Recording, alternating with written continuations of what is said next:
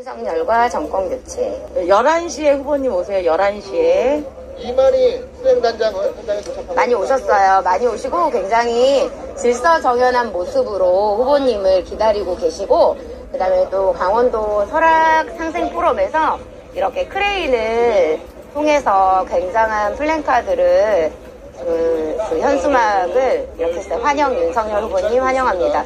이게 화면으로 보이면 좀 작게 보일 수 있는데 실제로 보면 굉장히 커요. 네. 제가 전공경 하는 여러분들은 윤석열만 해주십시오. 네, 여러분, 저희 지금 정도의 활력으로 저희 정말 이재명 타도에 같이 모아주세요. 와, 멋있어. 윤석열. 윤석열! 정권 교체! 윤석열! 정권 교체! 나두 사람 중에 한 사람은 선거에 좀 감을 가야 할 겁니다. 뭐 동국당이 어쩌다고요?